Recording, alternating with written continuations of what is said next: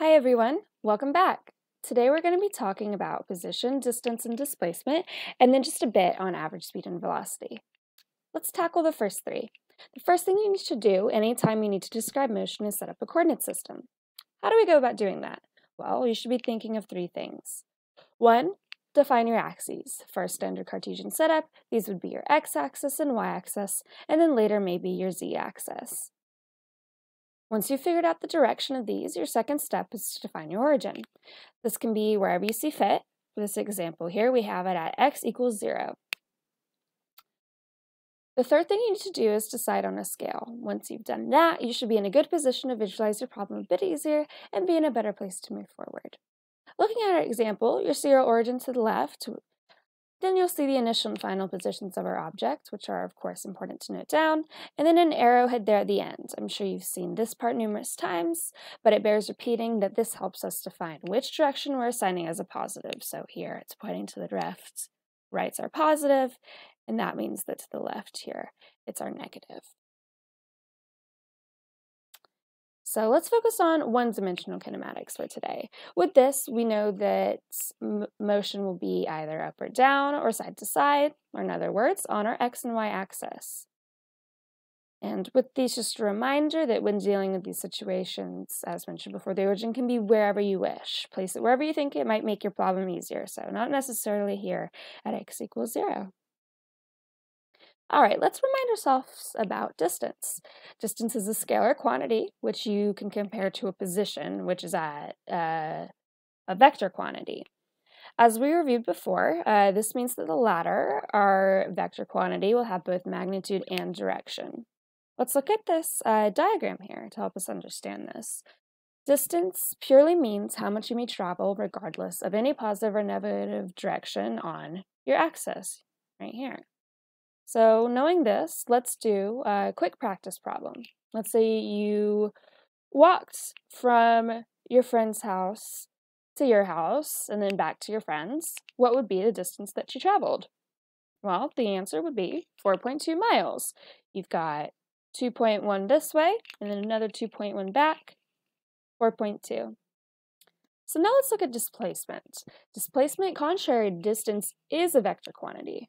This means we take into account direction, which you will use uh, your chosen axis components to label as positive or negative. Um, let's see, and mathematically, yeah, displacement is simply your initial position right here subtracted from your final. And this resultant vector is defined right here, delta x. Um, and this sign is going to point in the direction from your initial to final. So if this is positive, this answer right here, it's going to be pointing to the right as you've just defined that as your positive.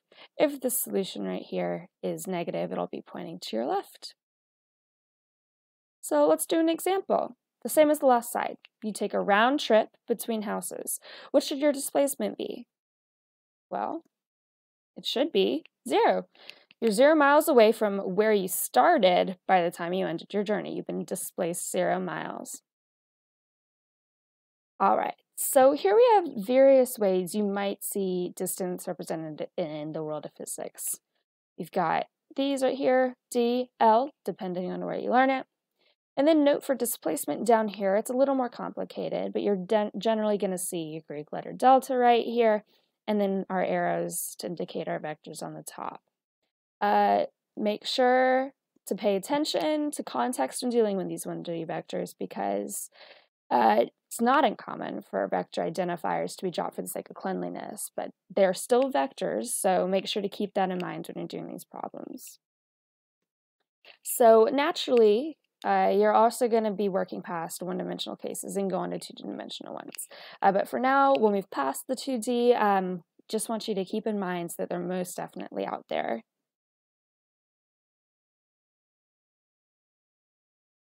All right, so let's quickly cover average speed and velocity.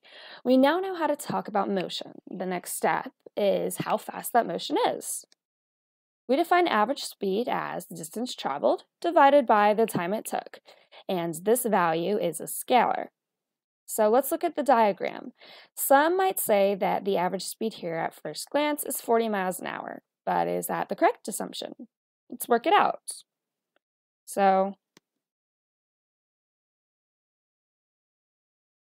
let's follow the math. So why 40? Some people say there's 30 here, 50 here, right in the middle might be 40. But that would be a very uh, quick glance sort of solution, and we want to do the math out here. So our formula, speed equals distance over elapsed time. We have this right here, 4 miles for this portion of your journey, where you're going 30 miles an hour at T1, and 4 miles for this portion, where you're going 50 at T2. So we have our distance. We've got 4 plus 4 right here for the both of these. And now we're just looking for our t values. We know t equals distance over speed. So let's try and figure out what these variables are.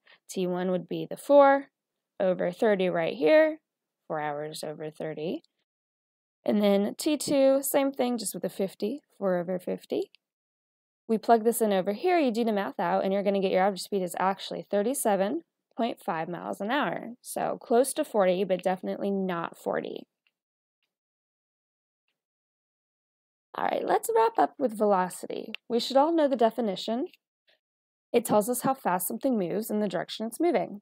And we can also see it mathematically here with, you know, average velocity equals displacement over elapsed time. And then we see it down here with the notation we mentioned earlier, delta x over delta t uh, your x final minus x initial over t final minus t initial. As opposed to speed, uh, you guys should know that average velocity is a vector. So ask yourself why. And in the following examples, um, we're going to know that uh, for any situation, your average velocity for a round trip is going to be zero. So why is that? Let's see. Let's look at our equations, right? We define average velocity as displacement over time right? And we found earlier that displacement is zero for a round trip. Remember, you're displaced by zero miles by the end, even though you did move. Um, so, thus, zero here in the numerator over whatever your t is. Average velocity for a round trip is always going to be zero.